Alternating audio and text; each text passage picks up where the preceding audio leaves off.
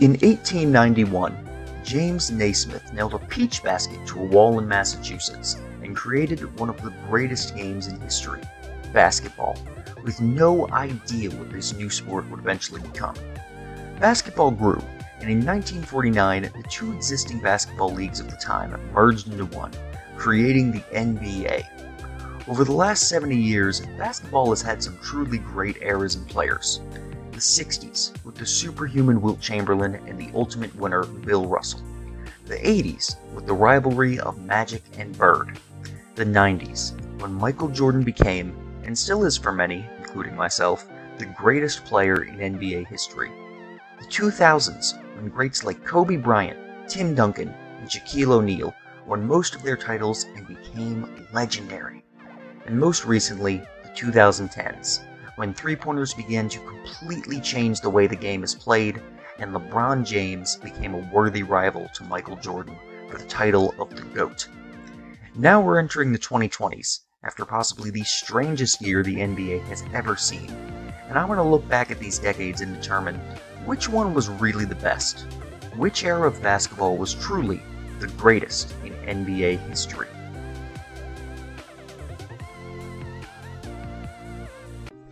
The 70s were kinda cheeks. Yeah, so this is going to be a little bit different than the rest of my greatest decades videos. I've still got to do the 2000s, the 2010s, and I intend to do one on the 2020s.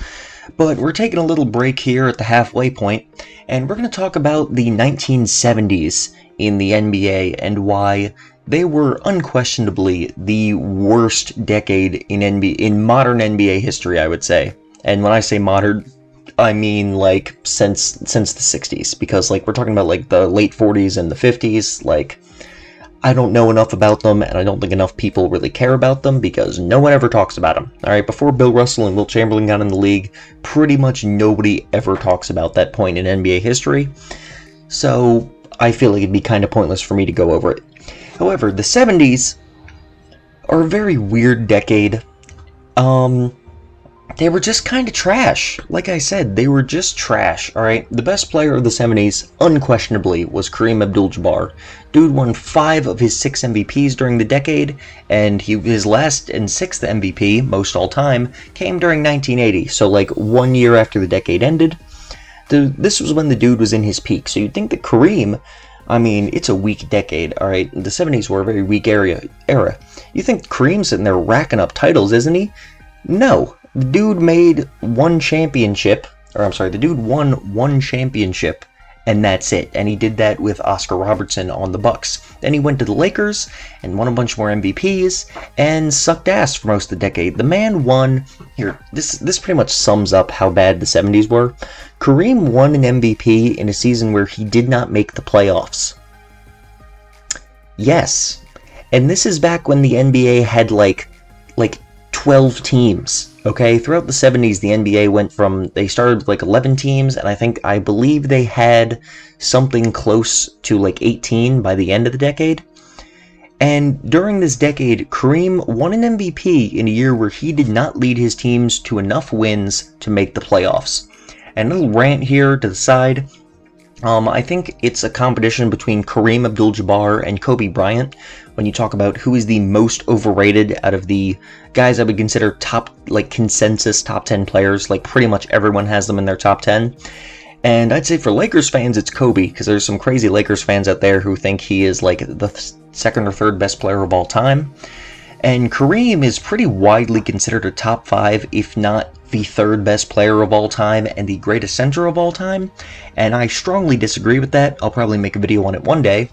But this is a big reason why. The man had a year where he could not get his team to playoffs in the weak ass 70s. I don't care if his team was like four dudes who were freaking Smush Parker, okay? This is the 70s. He should have been able to get his team to the playoffs just by being Kareem Abdul Jabbar, and he didn't. So, that, that hurts Kareem's case a lot for me. But nevertheless, this man won half the MVPs the decade. And then you've got other ones going.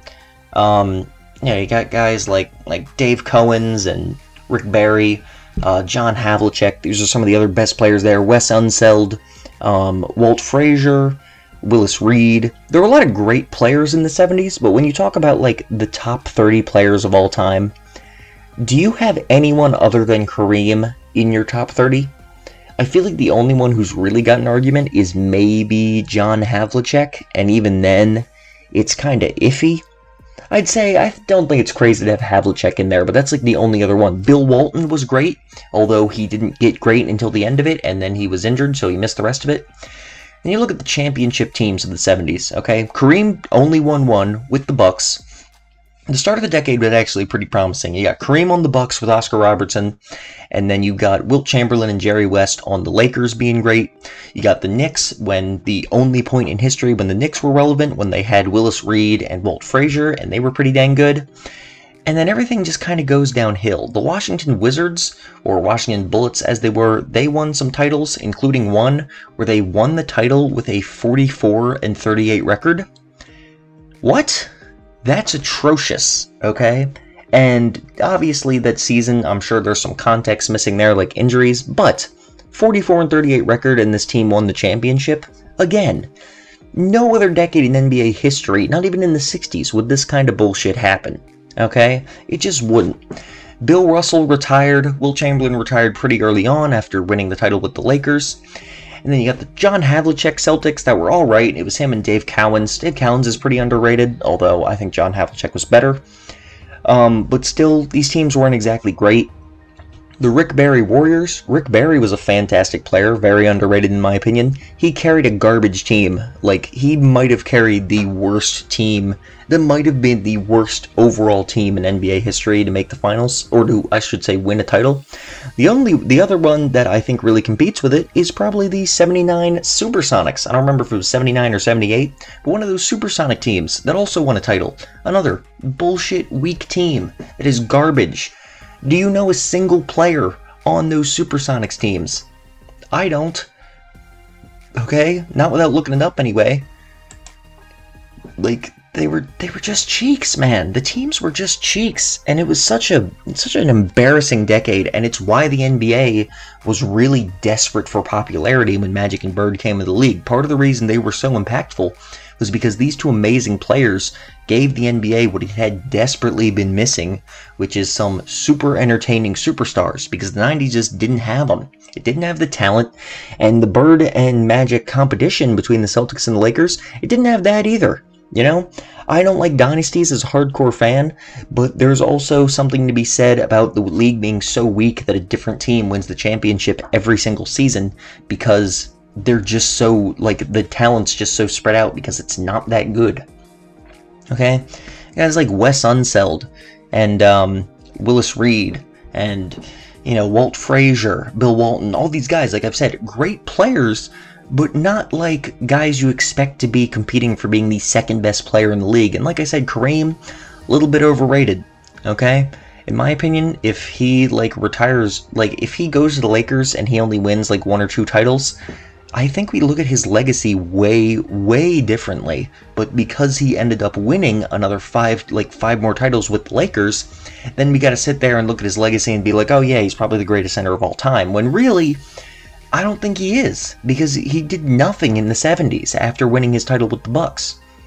I just don't think he was that. He was not that he wasn't that good because top 10 player in NBA history, no question in my opinion. But I don't think he was as good as some people believe he was the talent just wasn't that great. A lot of really talented players at the time, like Julius Erving, George Gervin, all right, these guys were playing in the MB, in the ABA, and they didn't come over until the very late 70s or the early 80s. So they weren't there. So the talent was all over the place. All right, half the talent in basketball was in a different league. It just it just wasn't great. It wasn't entertaining to watch. You know, that's why nobody talks about it. People talk about the 60s a ton. Nobody talks about the 70s because nobody cares about the 70s. All right. Just a bunch of weak championship teams, a bunch of weak MVPs. Just not a very good decade. And thank goodness the 80s with Magic and Bird came along and saved it because the NBA was really not looking good there for a couple years. Alright. So this was a shorter video on the decades, but I just wanted to go over the 70s real quick and why it sucked ass. just straight up. Just straight up sucked ass. Alright. If If you enjoyed this video, please like, and check out some of the other videos on my channel. The rest of the Greatest Decades videos will be coming out over the next, probably next two weeks. We'll, I'll probably have the rest of the videos out. Um, and I've been making videos every single day uh, since the beginning. I've only missed one day of videos since I started this channel. Not sure how long I'll be able to keep that up, but I hope you're enjoying them before I completely burn out. Thank you for watching. Hope you enjoyed.